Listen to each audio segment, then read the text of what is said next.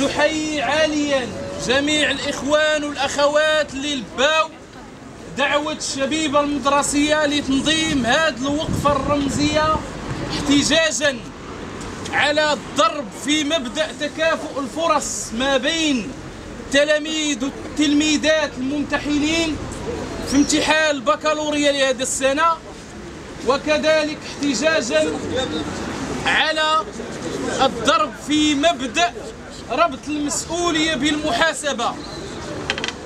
والرأي العام الوطني ككل تبع كيفاش أن وزارة التربية الوطنية كتصدر خمس بلاغات في يوم واحد في ظرف ست ساعات وكانت كلها بمثابة بلاغات تمويهية وبلاغات غير ذي جدوى على اعتبار أن امتحان البكالوريا في مادة الرياضيات سرب قبل عشر ساعات من تاريخ الامتحان واللي الشيء اللي خلق بلبلة وفتنة واستياء لدى أكثر من نصف مليون تلميذ وتلميذة من الممتحنين وكذلك لدى أولياء أمورهم وأبائهم وأمهاتهم.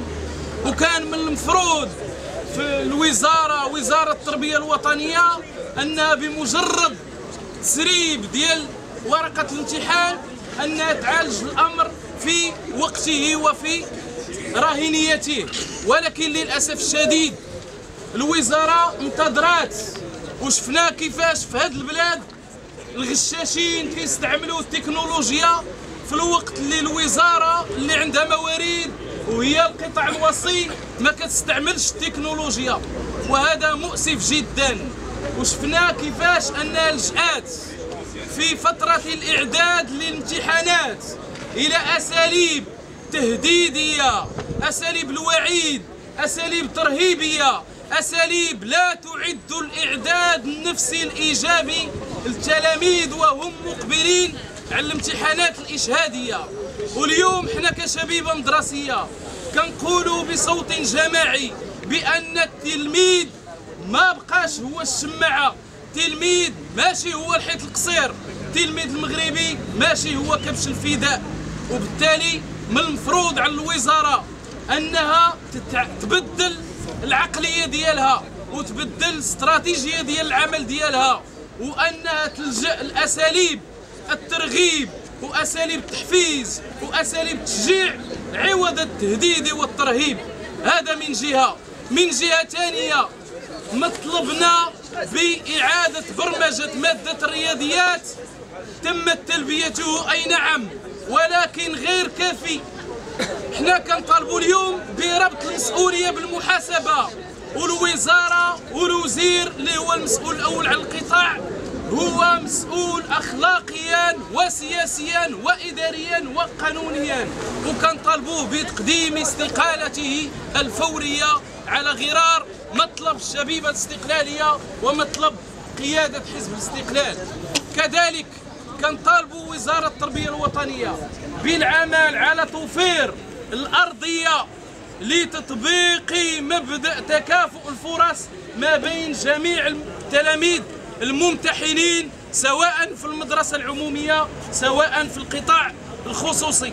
واليوم حنا في هذه الوقفة كنبغيو نحييو عاليا جميع التلاميذ اللي دوزوا الامتحان على الصبر ديالهم لأنها في ظروف لأنهم في ظروف غير طيبة وفي ظروف غير مواتية.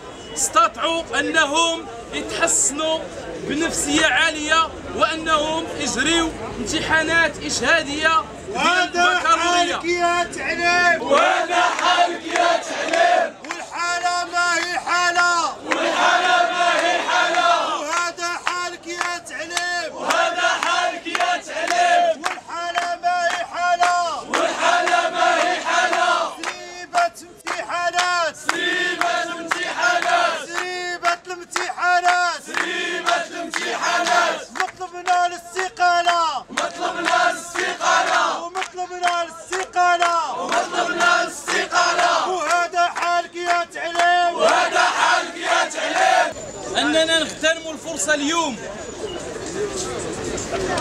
باش نركزوا على واحد العملية. الحكومة دفعات بمشاريع قوانين كتقضي بعقوبات سجنية في حقوق في وجه التلاميذ اللي ضبطوا في حالة غش. واليوم كنتسائلوا كيفاش؟ بغيتوا أن التلاميذ يولجوا السجون؟ وشنا هي المعايير اللي كتحدد بأن هذا التلميذ غش ولا لا؟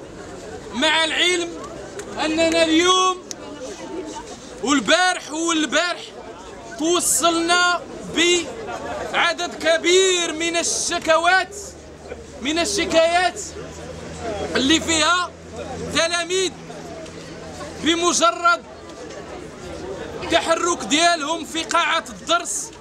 كيدار في حقهم محضر وكيتم الاتهام ديالهم بالغش. واليوم كنقولوا كيفاش كدفعوا بعقوبات سجنية في حق التلاميذ في الوقت اللي الغش كاين في الإدارة في الوقت اللي الغش كاين في الوزارة في الوقت اللي الغش كاين في الحكومة. ويحق لنا السؤال عن مصير الآلاف من التلاميذ اللي كيتم الطرد ديالهم بداية كل دخول مدرسي ونهاية كل موسم دراسي إما بدعوى الغش ولا بدعوى التكرار. هاد التلاميذ فاش كتردهم الوزارة كيكون مصيرهم الشارع وبالتالي كنقولوا للوزارة وكنقولوا للحكومة اش وجدتوا لهاد التلاميذ اللي كطردوهم؟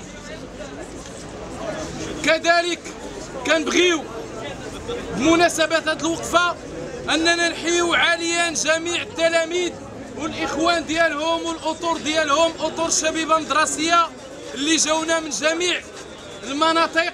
وكنبغيو نحييو عاليا إخواتنا في الاتحاد العام للطلبة وفي منظمة فتيات الانبعاث وكذلك في منظمتنا العتيدة منظمة الشبيبه الاستقلالية وتحية عالية لجميع الإخوان والأخوات كما تشرفنا اليوم بحضور الأخ سي محمد الزهري رئيس العصبة المغربية للدفاع عن حقوق الإنسان معنا في هذه الوقفة إضافة إلى الأخ.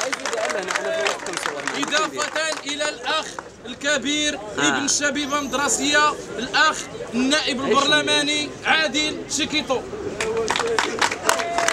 آخر مرة وقفنا فيها هنا كشبيبة مدرسية. وقفنا من أجل واحد الملف مهم جدا اللي هو ملف ديال توأم سمية وسلمى الأحمدي.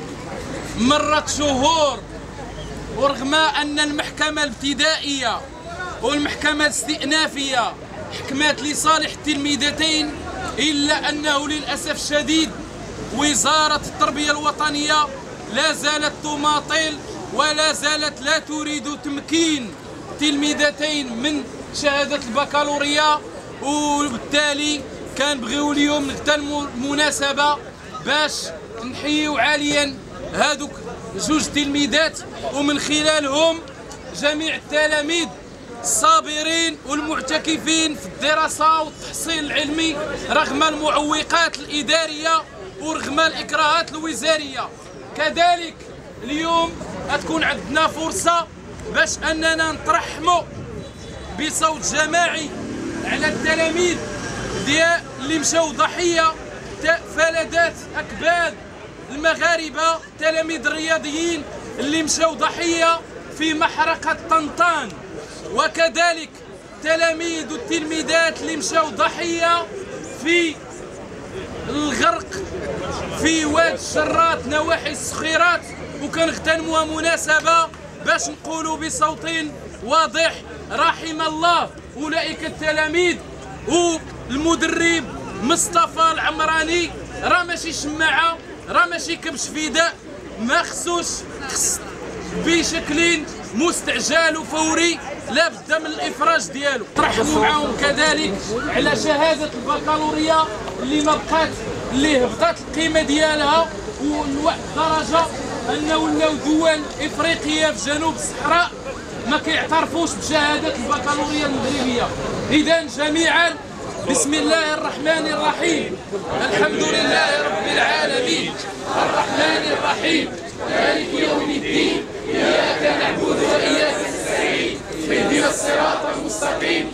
صراط الذين أنعمت عليهم غير المغضوب عليهم ولا آمين. سبحان ربك رب العزة عما يصفون وسلام على المرسلين.